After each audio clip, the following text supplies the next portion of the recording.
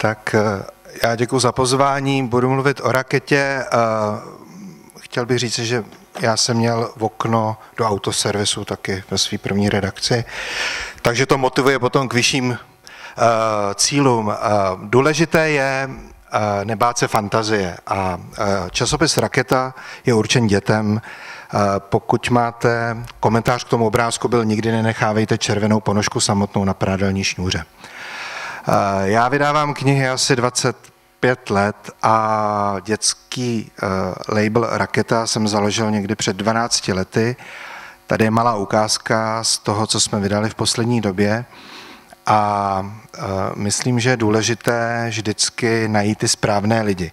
Pro většinu mužů jsou důležité ženy, a mně se podařilo najít dvě, ta blondětá je Radana, ta v modré košili Johana, to jsou šéf redaktorky časopisu Raketa kamarádky z Letné. Když e, zakládáte nový časopis, první číslo vyšlo před rokem až čtvrt, tak je důležité mít e, nějaký slogan a já jsem oprášel e, staré heslo mého nakladatelství pro děti, takže je to časopis pro děti chytrých rodičů.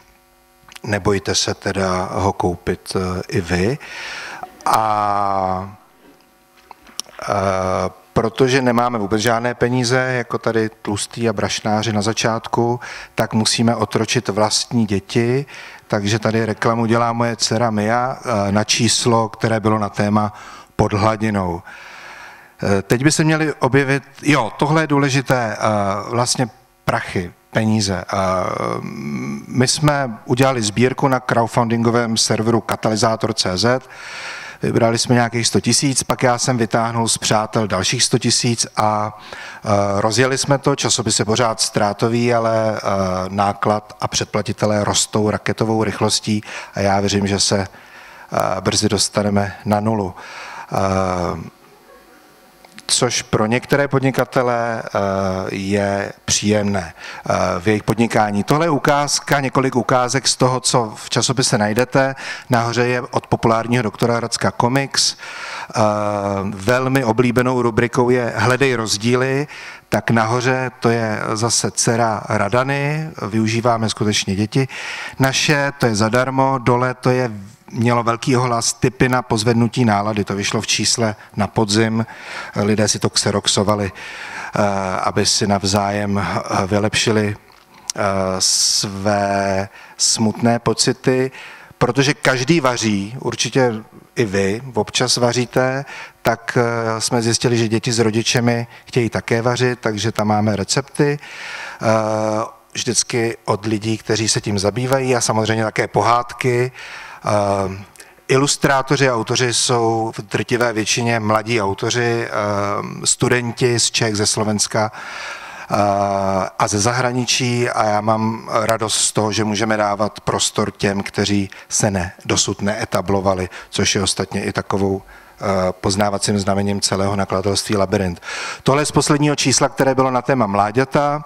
Nahoře je vystřihovánka. Dovoluji si upozornit, že ten klokan místo kapsy má šuplík a dole jsme předpověděli narození eh, sluňátka v Pražské zoo, eh, které trvá dva roky, než vyleze z bříška. Podle příspěvků, které v raketě máme, tak se dají vyrábět i takovéhle hezké věci a pořádáme workshopy v různých galeriích a také ve školách a k tomu bude ten další slide, eh, kdy jsme byli ve škole eh, v Novém Porgu. Eh, děti jsme nesměli vyfotit, protože tam chodí děti mm, některých bohatých spolupčanů a měli za úkol udělat svůj vlastní časopis. Tak dole vidíte obálky a vpravo je detail. Komentář k tomu je, že to je náš příští prezident a za hlavu má takovou samurajskou hůl.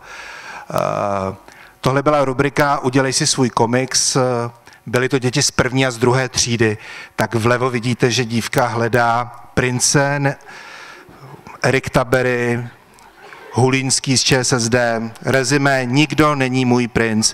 Vpravo poznáváte asi pastu, který zrovna byl vystřižen do této koláže.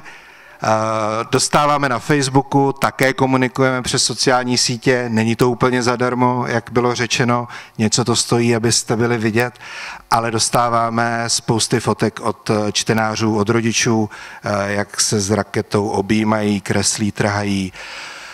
Máme pár přátel, kteří nám pomáhají, vlevo to je Lukáš Hejlík, eh, populární herec, který představuje nadšeného čtenáře z čísla, které bylo o náladách a vpravo je Petr Sís, eh, výtvarník, kterému vydáváme knihy v labirintu a jehož maminka chodila v Hradci Králové do základní školy. Eh, tady bych vás rád k závěru pozval k výstavě, kdybyste náhodou brouzdali během máje po Jižních Čechách, tak v galerii ve vodárenské věži v táboře budeme představovat eh, výtvarníky eh, z rakety.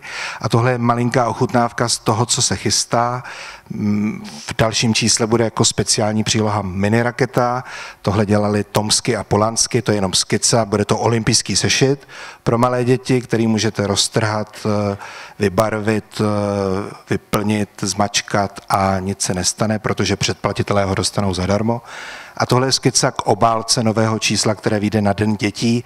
Téma bude létání a my nevíme, jestli dát tu nahoře, anebo tu dole. Tak byste mě o přestávce mohli třeba sdělit vaše pocity, co by se vám líbilo víc. A poslední obrázek je letadelko, vracím se obloukem zpátky na začátek. Fantazie je důležitá po celý život, nejenom v dětství a to, co nám pomáhá překonávat spousty obtíží, je svoboda. A když máte křídla, tak můžete odletět kam chcete. Tak vám přeju, abyste tu svobodu nikdy nestratili. A děkuji za pozornost. A kdybyste si chtěli raketu koupit, tak je tady za báječnou hradeckou slevu. Hezký večer.